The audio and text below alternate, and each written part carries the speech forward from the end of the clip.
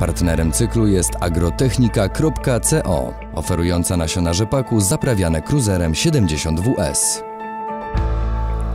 Kolejny odcinek naszego podcastu, naszego cyklu Agrotechnika doradza. Dzień dobry Państwu, witam serdecznie. Witam również mojego gościa, pana Piotra Hulanickiego, eksperta do spraw nasiennictwa. Będziemy dzisiaj rozmawiać, drodzy Państwo, w naszym kolejnym odcinku o tym, jak chronić wysiany materiał podczas suszy. E, jeśli ktoś nie słyszał poprzednich odcinków, oczywiście zachęcam, bo naprawdę warto posłuchać naszych rozmów. Mm, e, znajdziecie je Państwo oczywiście na portalu agrofakt.pl. A ja może zacznę, panie Piotrze, od pytania, jakie działania powinniśmy zastosować podczas suszy, żeby ochronić już wysiany materiał? No więc e, susza jest dosyć e, stresującym e, momentem w rozwoju roślin, jak i również pewnie i przekłada się to na, na zdrowie i samopoczucie rolnika. Niemniej jednak nie mamy tu za wiele do, do, do czynienia mm, ruchów jako rolnicy, dlatego że jedynie co możemy wszystkie nasze działania nakierować na maksymalizację ochrony wody w glebie, tak? Czyli musimy w odpowiedni sposób uprawiać tą glebę tak, żeby ona nie przesychała nam e, zbyt głęboko, e, co daje e, szansę na to, że woda po prostu tam zgromadzona będzie przez te nasiona wykorzystana.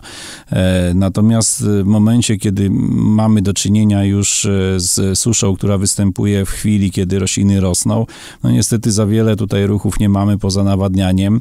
Ewentualnie możemy w jakiejś formie pozakorzeniowej te rośliny zasilać. Natomiast mało jest tutaj naszych możliwości e, jako, jako rolników e, przeciwdziałania tej suszy w sposób jakiś taki incydentalny, tak? Czyli to musi być zestaw działań, który daje taką szansę. Panie Piotrze, czy uprawa bardzo wczesnych odmian pszenicy może w jakikolwiek sposób pomóc?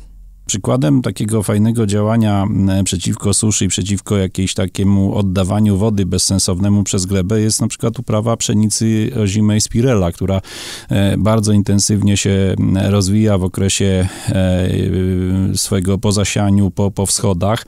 E, stanowi bardzo duże zagęszczenie na powierzchni. Jest rzeczywiście częścią taką, która zabezpiecza glebę przed oddawaniem wody, co daje szansę na że trochę więcej tej wody zgromadzimy. Dziękuję panie Piotrze za te cenne wskazówki. My do państwa wracamy w kolejnym odcinku. W kolejnym odcinku będziemy rozmawiać o czymś zgoła innym, a mianowicie o obfitych opadach. Nie pozostaje mi nic innego jak zaprosić Państwa do śledzenia Agrofaktu, do śledzenia nas na Facebooku, no i oczywiście nie może Państwa zabraknąć w kolejnym odcinku. Do usłyszenia.